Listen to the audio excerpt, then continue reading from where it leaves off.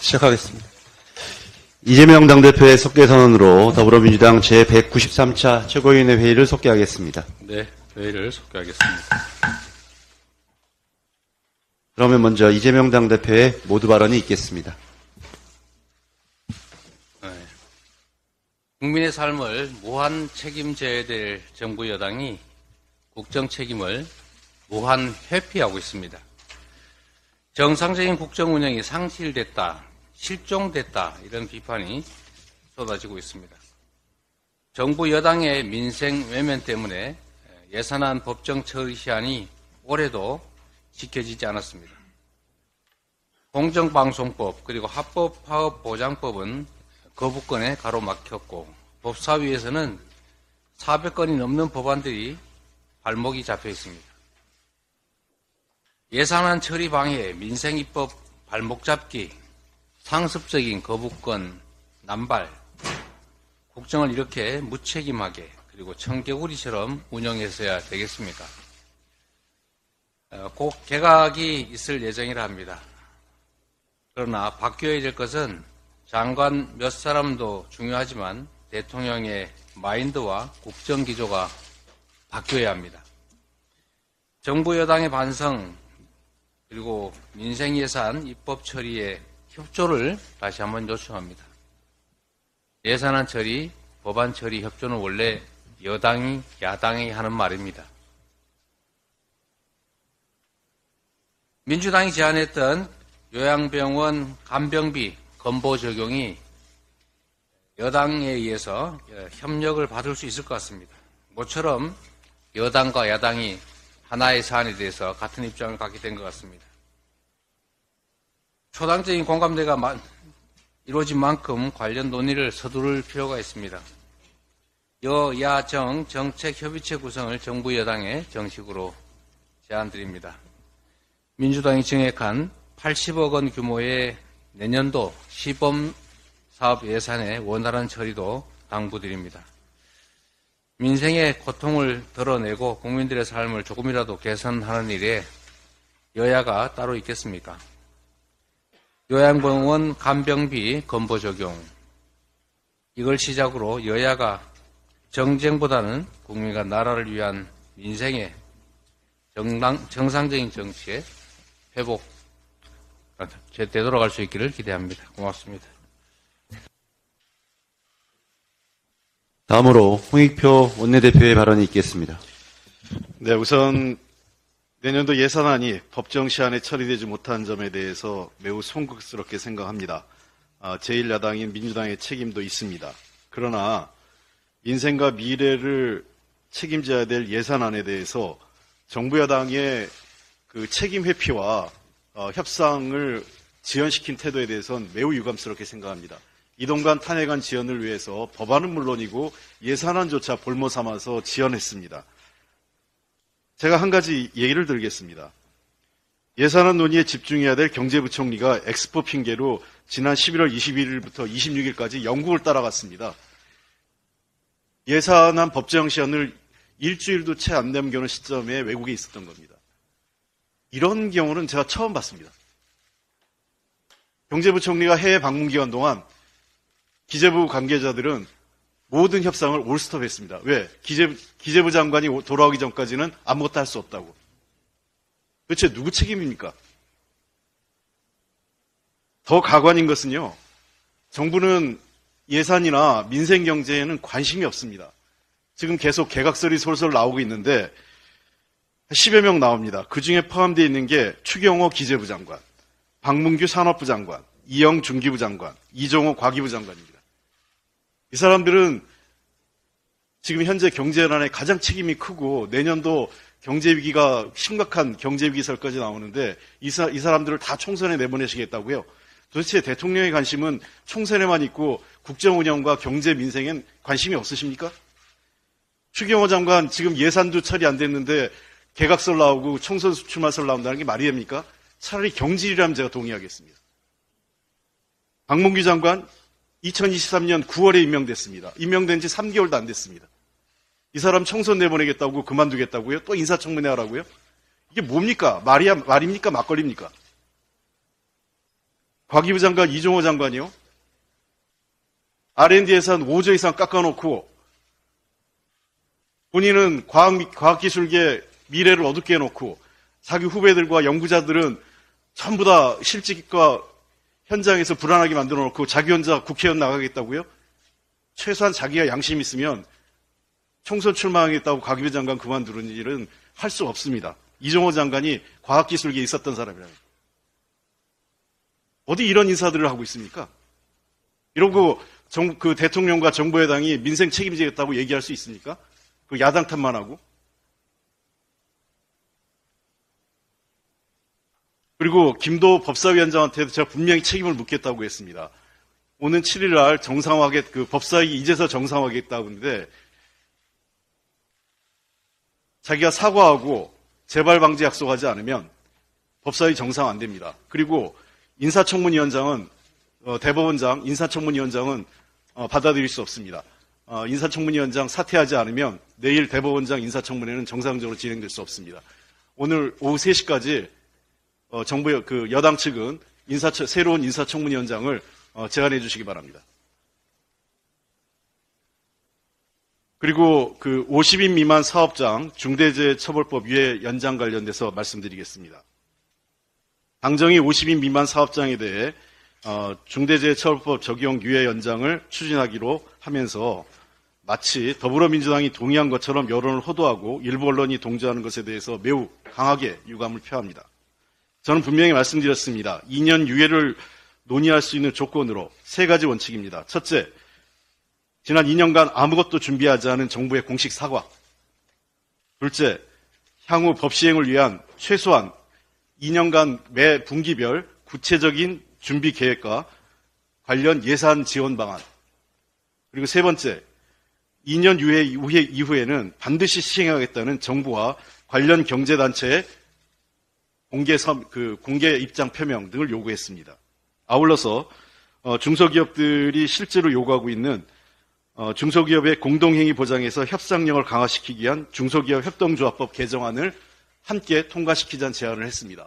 이것이 조- 통과되 이것이 합의되지 않으면 중대재해처벌법 2년 유예를 논의할 수 없습니다. 다시 한번 말씀드리겠습니다. 일하러 집을 나갔다가 사망사고로 돌아오지 못하는 노동자가 매일 7명에 달하는 현실에서 정부와 여당이 최소한의 사과나 구체적인 실천 계획이 없이 구렁이 담 넘어가듯이, 답- 구렁이 담 넘어가듯이 또다시 이 법을 유예한다는 것은 도저히 받을 수 없습니다.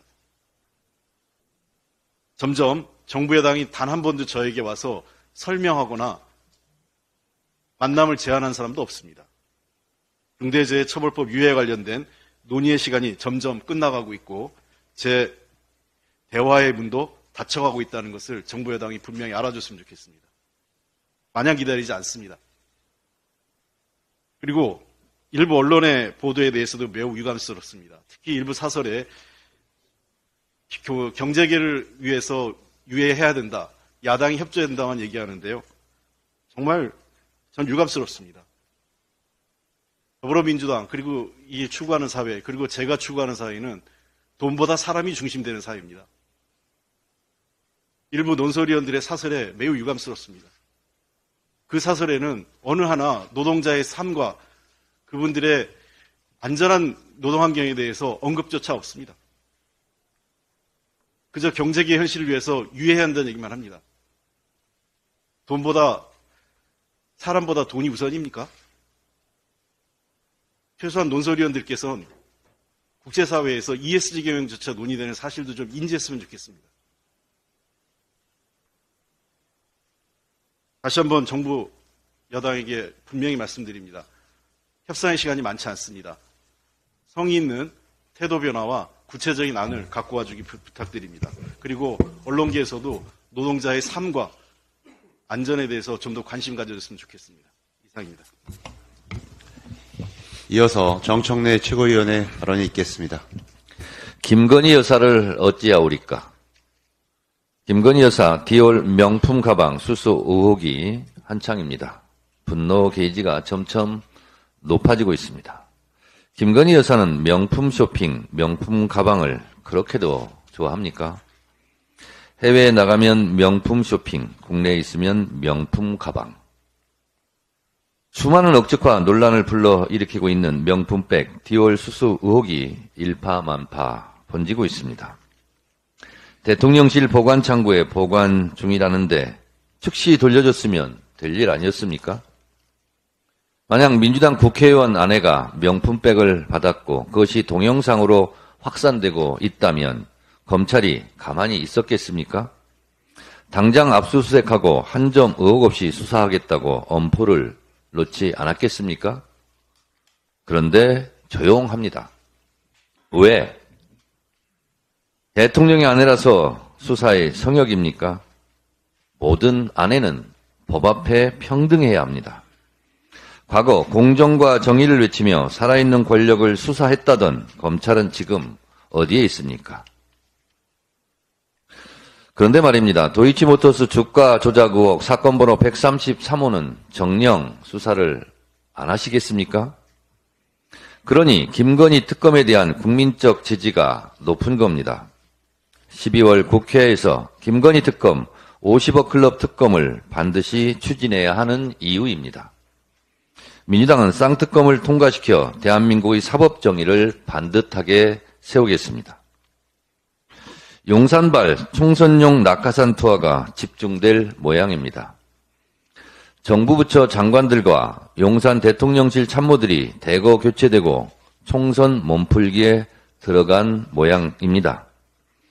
이번 개각설은 반성과 쇄신 없는 국민무시 찬물 내각, 변화와 소통을 거부한 불통개각, 실정 은폐, 먹튀, 총선만 생각하는 도주 개각입니다. 내년 총선은 윤석열 정권 심판 선거이고 그렇다면 국민의힘 입장에서는 윤석열 지우기를 해도 모자랄 판인데 여러 명의 윤석열 아바타들이 총선판을 휘젓고 다닐 텐데 야당으로서는 그리 나쁠 것은 없습니다. 반역이 많아져서 좋습니다. 윤석열 정권 심판하러 김건희 여사 보기 싫어서 한동훈 얄미워서 분노와 응징의 반대표 행렬이 투표장으로 향할 것입니다. 뿌린 대로 거둘 것입니다. 인요한 혁신위원장이 곧 뉴스에서 사라질 것 같습니다. 한 일도 없고 할 일도 없습니다. 인요한 혁신위는 결국 시간 벌기용, 시간 땜질용 아니었습니까? 괜히 본인의 서대문 불출마 성과 하나만 남기게 됐습니다. 인요한 혁신위원장님, 안녕히 가십시오. 굿바이. 이어서 고민정 최고위원의 발언이 있겠습니다. 윤석열 대통령은 언론 장악 몰두하지 말고 국가 소멸에 대한 대책을 마련해 주십시오. 뉴욕타임스가 한국의 저출산을 언급하며 흑사병 창궐로 인구가 급감했던 14세기 중세 유럽보다 더 빠른 속도로 감소할 수 있다는 충격적인 보도를 했습니다. 뉴욕타임스 칼럼니스트 로스다우서트는 2일 한국은 소멸하는가라는 제목의 칼럼에서 23년 3분기 통계청 발표 합계 출산율 0.7명을 언급하면서 이 수준의 출산율을 유지하는 국가는 한 세대를 구성하는 200명이 다음 세대의 70명으로 줄어들게 된다고 우려했습니다. 그러면서 불가피한 노인 세대의 방치, 광활한 유령 도시와 황폐화된 고층 빌딩, 고령층 부양 부담에 미래가 보이지 않는 젊은 세대의 해외 이민이 나타날 것이라고 경고했습니다. 2022년 대한민국 합계 출산율은 0.78명으로 10년째 OECD 38개국 국가 가운데 꼴찌를 기록하고 있습니다. 반면 출산율 하락 속도는 217개 국가 지역 중에서 1위를 기록하고 있습니다. 인구 감소로 인한 저출생 고령화, 지역 소멸, 젠더 세대 갈등을 비롯한 다양한 사회 문제가 대두되면서 전 세계 국가 중 유례없는 인구 절벽에 부딪혀 국가적, 국민적 위기의식이 절박하지만 단 한 군데 용산은 이 문제에 관심이 없는 것 같습니다. 오로지 검찰과 권력기관을 동원해 야당을 탄압하고 언론을 정권의 하수인으로 만들기 위해 방송 장악에만 몰두하고 있는 게 지금 용산 대통령실의 모습입니다. 언론 기술자 이동관이 아웃되자 이젠 특수부 검사 김홍일 권익위원장이 거론되고 있습니다. 방송통신과 무슨 전문성이 있어 검사 출신이 거론되나 도대체 검찰 출신 말고는 그렇게 등용할 인재가 없는가 한탄스럽습니다. 지금 대통령이 방통위 정상화를 위해 해야 할 일은 국회 몫에 대한 입장을 밝히는 것입니다. 방통위원으로 보내졌던 최민희 전 의원에 대해선 왜 임명하지 않았습니까? 방심위에 보내진 국회의장 야당복 인사에 대해선 왜 임명하지 않으십니까? 온통 비정상입니다. 대통령이 불능화시키고 있습니다. 국가기관을 불능화시키고 있는 대통령은 이번 대통령이 처음인 것 같습니다. 언론 장악을 위해 쏟는 열정의 반의 반이라도 인구 위기에 주목해 주십시오. 해외 순방에서 쓴 막대한 예산으로 비판도 많이 받고 있지만 국정 운영을 위한 쓸모 있는 지출이었다면 국민 비난이 이렇게 컸겠습니까? 명품 숍을 쇼핑했다는 기사를 보며 자괴감이 드는 국민들 마음이 그저 비난을 위한 비난만은 아닙니다. 인구 위기를 극복하고 있는 선진 사례를 국내에 소개도 해주시고 입법이 필요한 부분은 야당을 설득해서 빠른 입법도 좀 추진해 주십시오. 청년들의 경쟁 압력을 해소하기 위해서 육아휴직을 현실화시키고 높은 청년 실업률을 낮추고 주거 안정에 대한 현실적인 방안을 내놓으십시오. 부디 이제는 제발 야당과 정책 결정을 할 수- 정책 경쟁을 할 수 있기를 다시 한번 부탁드립니다. 다음으로 박찬대 최고위원의 발언이 있겠습니다. 한국은행이 내년 실질 국내 총생산 성장률 전망치를 2.2%에서 2.1%로 하향 조정했습니다. 반면 내년 소비자 물가 상승률 전망치는 2.4%에서 2.6%로 0.2%포인트 상향 조정했습니다. 한마디로 성장률은 둔화되는데 물가는 여전히 치솟을 거라는 암울한 전망입니다. 우리 경제가 이렇게 심각한 위기에 빠졌는데도 대통령과 정부는 무슨 생각을 하고 있는지 통 모르겠습니다. 추경호 부총리는 최근 한 언론 인터뷰에서 1조 달러 이상 경제의 규모를 지닌 국가로 보면 대한민국이 가장 높은 성장률을 보이고 있다면서 내년으로 갈수록 경기 회복세가 뚜렷해질 것이라는 장밋빛 전망을 내놓았습니다. 그러나 추경호 부총리의 이런 전망은 별로 가능성이 없어 보입니다. 같은 인터뷰에서 2030 세계 박람회 개최지로 부산이 선정될 가능성에 대해 이제 해볼만 하다. 막판 뒤집기가 가능한 판세까지 왔다. 고 전망한 장본인이기 때문입니다. 국민을 속이려는 전망이었는지 실제 그렇게 믿고 있었는지 알 수 없지만 결과적으로 크게 빗나간 전망을 내놓는 것을 보면 부총리의 실력이 어떤지 충분히 알 수 있습니다. 물론 경제정책 실패 책임을 물어 최경호 부총리를 경질하는 것은 당연하지만 지금의 경제 위기를 극복하기 위해선 정부의 경제정책 기조를 완전히 바꾸어야 합니다. 초부자 감세와 건전 재정이라는 빛 좋은 개살구를 맹신하며 국가의 역할을 포기하고 서민이야 고통 받든 말든 외면한다면 상황이 나아질 리가 만무합니다. 조만간 경제 부총리를 포함한 내각 개편이 있다는 전망이 나오고 있습니다. 하지만 경제부총리 한 명 바꾸는 정도로 해결될 경제 위기 상황이 아닙니다. 윤석열 대통령이 바뀌어야 합니다. 조금이라도 경제 위기를 극복할 마음이 있다면 부총리만 바꿀 게 아니라 경제 정책 기조를 전면 수정하십시오. 대통령의 쓰임새는 무엇입니까? 자칭 대한민국 1호 영업사원 윤석열 대통령의 영업 능력이 최악이라는 것이 다시 확인됐습니다. 2030 세계 박람회 유치를 위해 무려 5,744억 원을 썼는데 겨우 29표를 얻었습니다. 발표 하루 전만 해도 막판 대역전극이 가능할 것처럼 뻥쳤지만 결과는 참패였습니다. 기네스북에 오를 정도로 정상회담을 했다고 자화자찬하더니 만나면 만날수록 손실만 커졌습니다. 우리가 투자받기로 한 돈이 7조 원인데 외국에 투자하겠다는 돈이 105조 원, 마이너스 98조 원입니다. 정상적인 회사라면 이런 영업사원은 해고각입니다. 대통령이 민주주의나 민생에는 관심이 없다는 사실도 다시 확인되었습니다. 행동을 보면 딱 드러납니다. 양곡관리법, 간호법도 거부하더니 노조법과 방송 3법도 또다시 거부했습니다. 국민은 늘 옳다고 말하더니 국민의 대표인 국회가 의결한 법안들을 이렇게 사사건건 거부하는 것은 딱 하나. 대통령 본인이 거짓말을 했다는 뜻으로밖에 해석이 되질 않습니다. 말과는 달리 계속해서 국회를 무시하고 국민을 무시하겠다는 뜻 아닙니까? 윤석열 대통령이 강가하고 계신 것 같은데 국민을 무시하고 나라에 손실만 끼치는 영업사원에 대한 국민의 인내심에도 한계가 있습니다.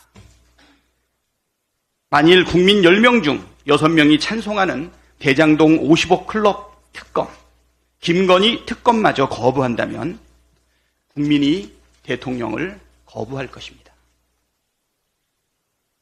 다음으로 서영교 최고위원의 발언이 있겠습니다. 윤석열 대통령이 정책실장을 부활시키며 대통령실을 개편했습니다.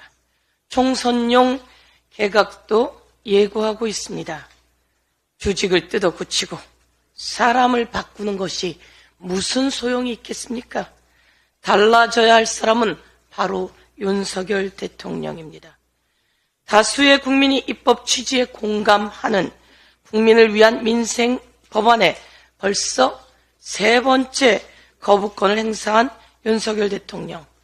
국회를 통과한 법안에 대한 거부권 남발을 남발은 입법부의 결정을 무시하고 삼권 분립을 심각하게 훼손하는 일입니다. 대통령의 불통, 대통령의 독선, 대통령의 오만 이것을 모두 버리는 윤석열 대통령의 변화가 있어야 합니다. 그렇지 않고서는 달라지지 않을 것입니다. 독선의 절정은 바로 부산 엑스포였습니다.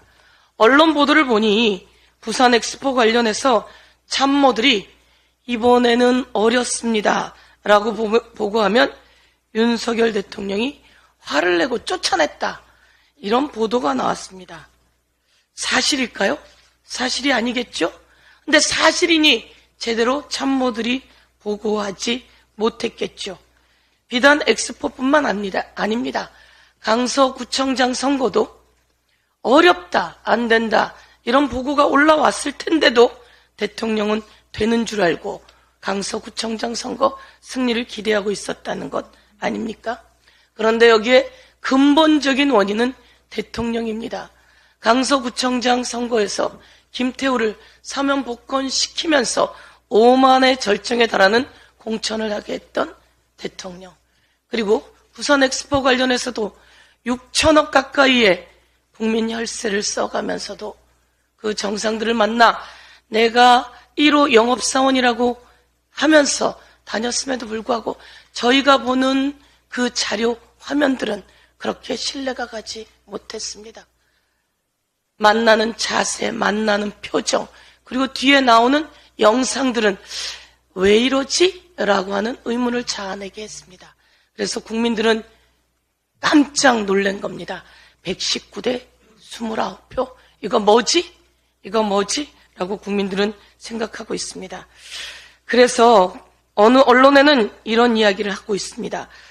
대통령만 모르는 건가? 국민은 다 아는데 참모들은 다 알면서 이야기해주고 있지 않아서 혹시 대통령은 벌거벗은 임금님이 되고 있는 것은 아닌가라고 하는 언론이 제목을 달고 보도하고 있습니다.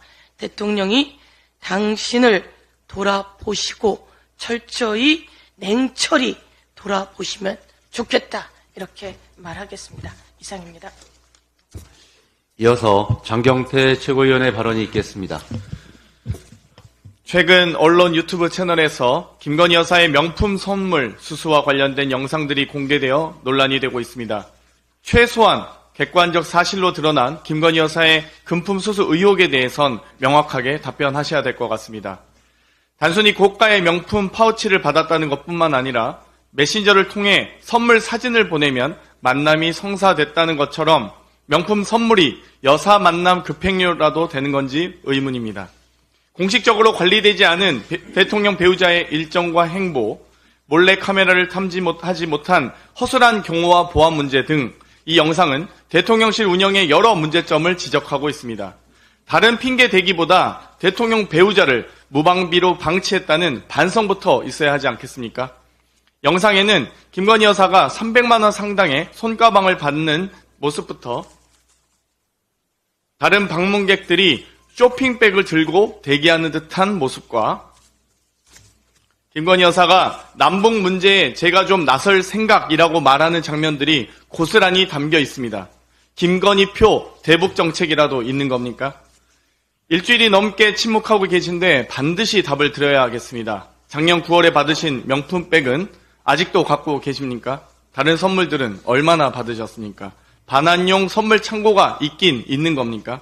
이번 영상이 아니었다면 언제까지 갖고 계실 생각이었습니까? 지금이라도 선물 창고를 싹 공개하시고 자수해서 광명 찾으시기 바랍니다. 최근 김건희 여사의 경호실장을 사칭하며 채용 사기를 치려고 했던 50대가 징역 1년 4개월을 선고받았습니다. 친분을 사칭해 논란이 되었던 건진 법사 이후에도 비슷한 일들이 계속되고 있는 모양새입니다. 참고로 건진 법사는 약 8개월간의 늦장 조사 끝에 공직기강 비서관실이 직접 찾아가 구두로 공- 경고했다고 합니다. 이러한 논란들을 가장 쉽게 정리할 수 있는 것이 바로 투명한 정보 공개입니다. 지금도 7건의 행정소송이 진행되고 있습니다. 이 가운데 3건에 대해선 1심에서 시민단체 원고 일부 승소 판결이 있었습니다. 그럼에도 불구하고 대통령실은 모두 시간 끌기용 항소를 제기한 상황입니다. 대체 무엇을 감추려고 하는지 알 수 없습니다. 대통령 비서실 직원 명단 같은 기초적인 정보조차 공개하지 않으니 대통령실을 사칭하는 범죄들이 기승을 부리고 있는 것 아니겠습니까? 재판부는 비서실에 근무하는 공무원이 누구인지는 국민의 감시와 통제가 필요한 공적 관심사에 해당하고 이를 공개하는 것은 국민의 알 권리 보장과 투명성 확보 등의 공익에 크게 기여한다고 판단한 바 있습니다. 대통령실은 국민의 감시에서 벗어나려는 꼼수를 멈추고 기본적인 기초 정보만큼은 공개하시기 바랍니다. 이상입니다. 다음으로 서운석 최고위원의 발언이 있겠습니다. 윤석열 정부는 출범 직후부터 불경 지역을 홀대하고 무시했습니다. 경남도지사, 울산시장, 그리고 부산시장이 37조 예산 지원이 동반된 불경 메가시티를 백지화시킬 때 완전히 침묵했습니다. 아니 윤석열 정권의 동의 없이 어떻게 부울경 국민의힘 단체장들이 부울경 메가시티를 걷어찰 수 있었겠습니까? 이제 2030 부산 엑스포 유치마저도 실패하자 부산 시민을 우롱하고 있습니다. 국민의힘 김기현 당대표와 국민의힘 박형준 부산시장이 엑스포 실패, 엑스포 참사를 또 전 정권 탓으로 돌리고 있습니다. 윤석열 정권 실정과 무능력은 도대체 언제부터 윤석열 정권의 책임이 되는 겁니까? 이미 윤석열 정권이 출범한 지 1년 반이 넘어 2년이 되어 가는데 언제부턴가 윤석열 정권 책임하에 국정이 운영되고 있다고 생각하면 됩니까? 염치가 없어도 적당히 없어야죠. 정부 여당 김기영 대표의 남탓, 전 정부 탓은 이제 지겨울 정도니까 더 말하지 않겠습니다. 국민의힘 박형준 부산시장님, 박형준 부산시장이 도대체 무슨 일을 하는지 모르겠다는 부산 시민의 여론도 많았지만 그동안 2030 부산 엑스포 유치로 외국을 챙긴다고 바쁜가 보다 하고 넓은 마음으로 이해하는 부산 시민들이 많았습니다. 그런데 박형준 부산시장까지도 윤석열 정부의 전 정부 탓 국정 노선에 본격 합류하는 것을 보고 놀랍고 한심한 마음을 금할 수가 없었습니다. 박형준 부산시장이 이렇게 말했다고 언론에 소개되었더군요. 윤석열 정부 출범 후에야 비로소 본격적인 유치전에 나선 점은 뼈아픈 대목이 아닐 수 없다. 기가 막힌 발언입니다. 누가 들으면 윤석열 정부가 출범하고 세 달 만에 엑스포 개최지가 결정된 줄 알겠습니다. 1년 반이 짧은 기간입니까? 개최지 결정 투표 직전 1년 반이라는 시간은 승부를 가르는 그야말로 결정적 시기입니다. 그 1년 반 동안 2030 엑스포 유치를 위해 제대로 잘 뛰었다면 설사 유치에 실패했더라도 119대 29대 참패는 없었을 것입니다. 그리고 박형준 부산시장에 꼭 한 가지 지적을 하고 싶습니다. 박형준 부산시장님, 부산 시민과 국민을 속이지 마십시오. 박형준 부산시장의 임기는 1년 반이 지난 것이 아닙니다. 보궐선거로 당선된 박형준 부산시장의 임기는 2021년 4월 8일 시작되었습니다. 무려 2년 8개월이 지났습니다. 박형준 부산시장은 2년 8개월 동안 뭘 했습니까? 문재인 정부 때 박형준 부산시장님은 집에 있었습니까? 아닙니다. 부산시장하고 있었습니다. 어디에다 엑스포 유치 실패의 책임을 미룹니까? 부끄러운 줄 아십시오. 119대 29로 대참패한 이번 2030 엑스포 유치 실패는 대한민국 외고, 외교의 총체적 수준을 보여주고 있습니다. 엑스포 유치에 사용된 천문학적인 비용을 둘러싼 의혹도 제기되고 있습니다. 윤석열 대통령이 총선을 의식해서 부산 시민들에게 큰 선물을 주겠다는 식의 발언으로 넘어갈 수 있는 문제가 아닙니다. 대통령이 떡 주겠다고 달래는 것은 부산과 부울경 시도민을 또 한 번 우롱하는 것입니다. 이번, 이번 2030 엑스포 유치 대패는 외교 참사입니다. 민주당은 유치 과정에서 어떤 부정과 어떤 문제점이 있었는지 꼼꼼하게 점검할 것입니다. 마지막으로 박정현 최고위원의 발언이 있겠습니다. 김건희 여사 리스크로 전국이 들끓고 있습니다. 최근 김건희 여사가 300만 원 명품백을 받았다는 보도로 어려운 경제 상황을 견디고 있는 국민들의 분노가 하늘을 찌르고 있습니다. 그런데 방송통신심의위원회가 서울의 소리에 관련 유튜브 영상을 사용한 JTBC 뉴스룸을 긴급 심의한다고 하니 어처구니가 없습니다. 대통령실은 김건희 여사의 300만 원 명품백 선물에 대해 국민들이 납득할 만한 해명을 내놓지 않으면서 이를 보도한 언론에게는 재갈을 물리고 있으니 대통령실의 국민 무시가 도를 넘고 있습니다. 또 다른 김건희 여사 리스크인 도이치모터스 주가 조작 사건.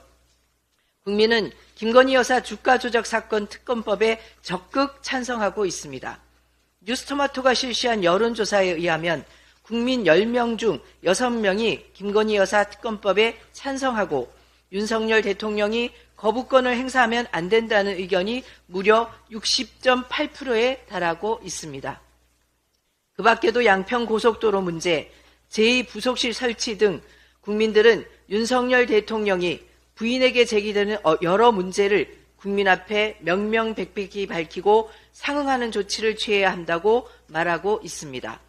윤석열 대통령과 여당이 국민의 여론을 계속 무시한다면 국민은 표로 혹독하게 심판할 것입니다. 여당은 이태원 참사와 최상병 순직 사건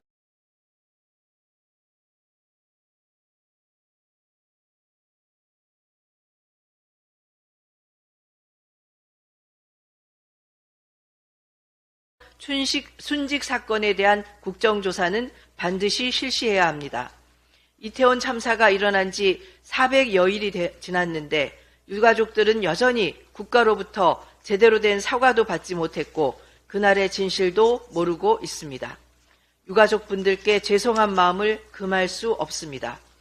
세상병 순직 사건도 마찬가지입니다. 수사 과정에 외압이 있었음을 증명하는 사실들이 속속 발견되고 있는 만큼 국회는 책임 있는 자세로 진실 규명, 제대로 된 사과, 책임자 처벌 등의 최선을 다해야 합니다. 여당은 국정조사에 적극 나서십시오. 네, 회의를 마치겠습니다.